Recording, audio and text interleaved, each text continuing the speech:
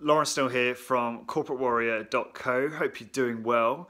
So, I get the same question all the time, which is how do I get more clients for my high intensity strength training business?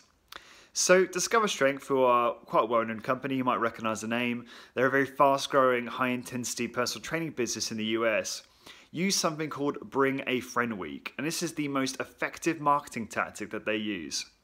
It's quite self explanatory two weeks of the year, so two separate weeks, clients can bring a friend and get a free workout. So they get a free workout, but also the uh, referral gets a free workout as well.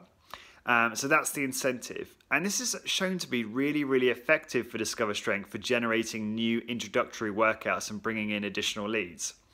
Uh, as of late 2018, an average week consisted of 13.5 free introductory workouts. But following Bring a Friend Week, they would get 60 to 90 free introductory workouts, which is um, significant.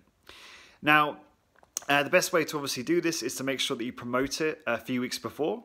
Uh, and best way to do that is to ensure that your trainers have a promotional focus. So every time they train a client uh, a few weeks before this promotion, they should be telling them about the opportunity to bring a friend for free.